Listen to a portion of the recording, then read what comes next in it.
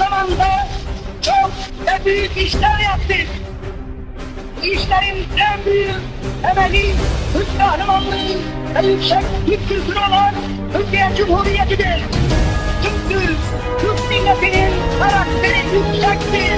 Türk milleti çalışkandır. Türk milleti zekidir. Çünkü Türk milleti birlik birlik ve beraberlikle güçleri yenmesini Milleti asla şüphem yoktur ki Türklüğün unutulmuş büyük medeni vasfı ve büyük medeni kabiliyeti bundan sonraki inşaatıyla, fatihliği